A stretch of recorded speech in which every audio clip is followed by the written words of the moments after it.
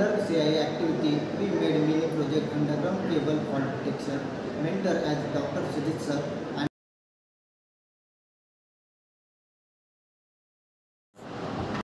The objective of this project is to determine the distance of underground cable line 14 kilometers, which will be displayed over mobile through SMS. In conventional way of detecting fault and exhausting search, this is a time-consuming and inefficient process. Not only manpower resource is not. The concept of Ohm's law is used in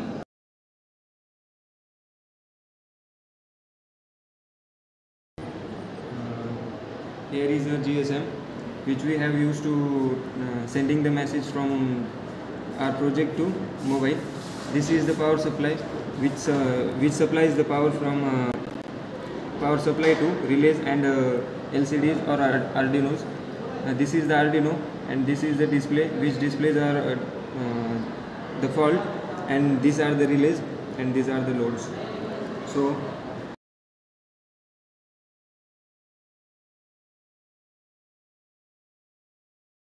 So I will explain the working of our project.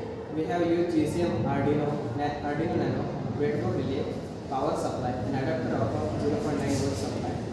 230 volt AC supply is converted to 0, 0 to 9 volt through adapter, and supply is given to GSM model. GSM model is connected to the power supply, and Arduino to given the 5 ampere current.